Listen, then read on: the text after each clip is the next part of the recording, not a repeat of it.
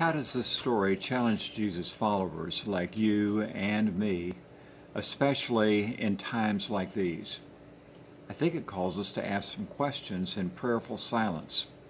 The Quakers call these queries, questions asked in prayerful silence. So here's one. So many things are not right in the world right now. Have I allowed hopelessness to overwhelm me? Do I let cynicism stop me from speaking up against injustice?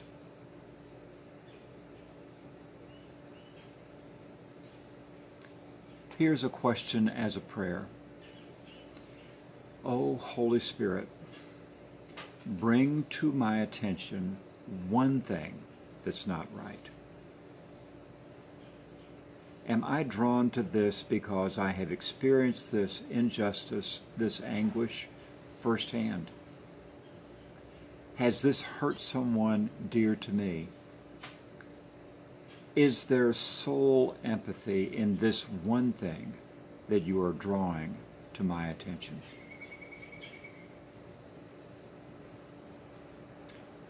Another is prayerfully ask what group or groups are already at work to make this right. In the days ahead, expect to find allies by asking that prayer a number of times. Who are the allies? Oh God, help me see. Keep your soul eyes and your soul ears open do a little research online. We are rarely called to completely start new initiatives. We can join our life energy and our soul empathy with others who are speaking up and speaking out against injustice and inaction. Jesus' prophetic act in the temple called out the violence done by everyday, done to everyday faithful people by the temple money system. This led to his death within a week. And God is still speaking through that action in the temple to change, and God is speaking through it to change our world still.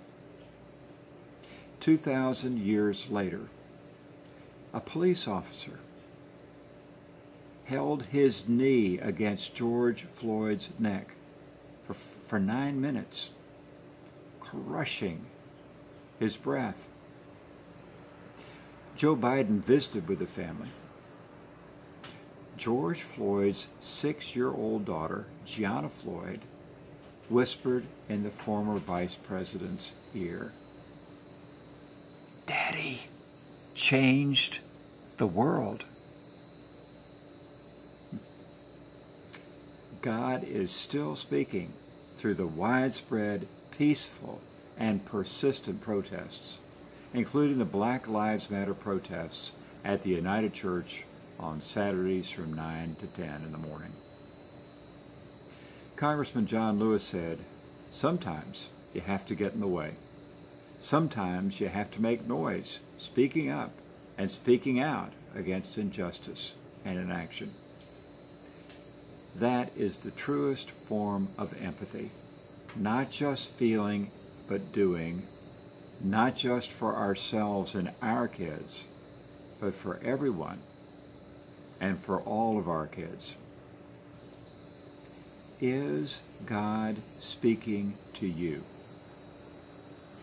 Urging you to unleash your soul empathy.